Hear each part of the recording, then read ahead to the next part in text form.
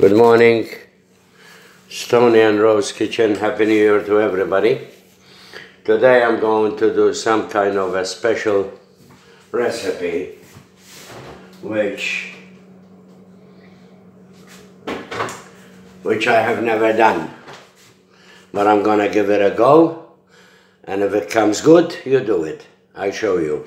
But there's a few things I need to tell you and then I need to show you maybe two or three videos, okay? Because this is the phone, if I can, if I continue, it takes a lot of time.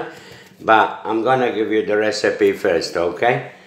And here, I've got, I wrote it down, I've got uh, one cup of warm milk, okay? One cup of warm milk, which I'm gonna warm it for 40 seconds, okay? Here,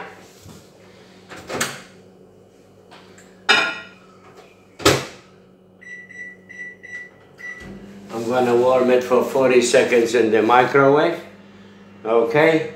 I got uh, quarter of a cup vegetable oil. I got one tablespoon of yeast.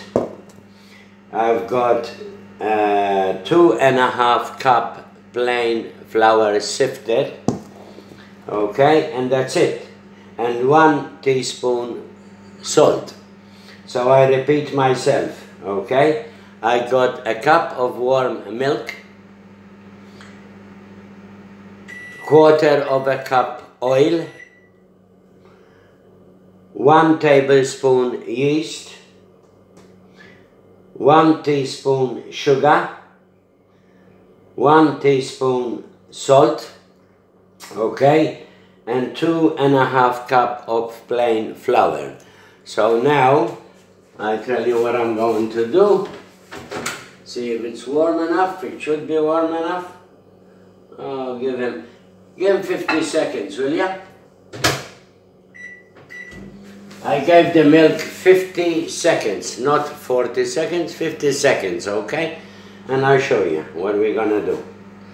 Okay? There you are. Should be alright. You can do it with water too, but I like the taste of milk, you know? So I'm gonna throw the milk here. Okay? And I'm gonna throw the oil. Everything together, this one, people. But this is a, a different recipe. This is, should be beautiful bread, okay? We'll, we'll find out soon enough, all right? So mix it, okay? Mix it properly until you get the dough. If it comes too soft, put a tiny bit, but it, the recipe exactly, it should come perfect. This is going to be bread, which you won't believe because I can't believe. I believe it because my grandmother, when she used to have dry bread, you know, she used to put a cloth to wet the bread. But because them days they had no oven, they couldn't do anything. So today we've got ovens. So if you have any dry bread at all, instead of throwing it away, you can wet it, okay? You can wet it and reheat it in the oven. Wet it like we wet, you know, the, uh, the bread for the budina, eh?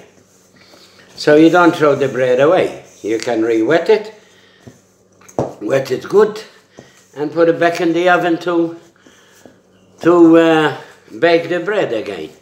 So this is done, right? This is all done like that. So give it a bit of tiny, tiny, tiny, you know, work it out a little bit. Now what I do now is I warm up I done a small thing because this is the first time, so I don't want to waste too much. So I gave you half of the recipe that I was going to do, but if they come good, then I'll increase, and if they come good, you keep going doing this bread for a long time. So what I do, I got a, I got a, this one here, because this is not you know, this is uh, small. What I do here, I put some oil like that into this.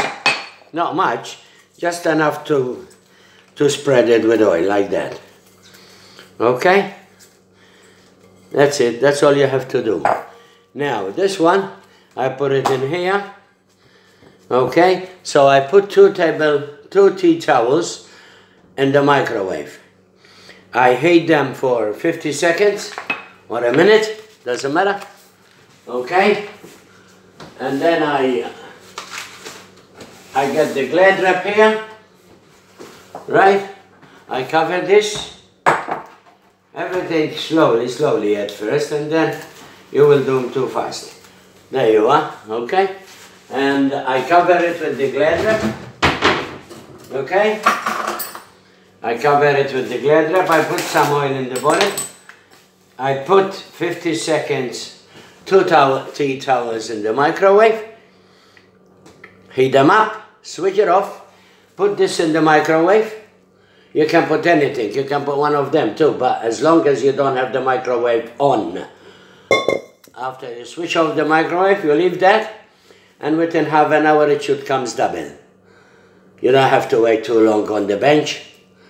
If it's a hot day, yeah, you got a chance to do it on the bench. But because it's not that hot today, and I usually do it every time anyway, I like to put in the microwave after I heat the, the heat the microwave, you know. So what I'm going to do after, cut short, I will roll this out when it puff up, roll it, roll it, and not all of it, I cut it first, I show you anyway. Okay, and then flatten out with the roller pen, roll it, let it rise a bit, and I put them in the hot water, boiling water for a minute or two. For a minute or two. Lift them up, put them in a dish, and put them in the oven. But I will show you. Tony and Rose Kitchen. I hope you people have a new year, had a new year. I hope you keep yourself safe and look after each other.